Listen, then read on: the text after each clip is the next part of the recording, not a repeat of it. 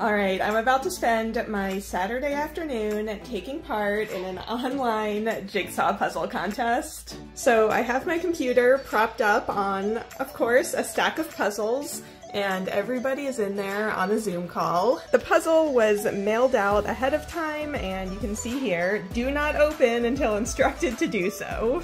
Ooh, I see a grid. Ooh, this looks fun.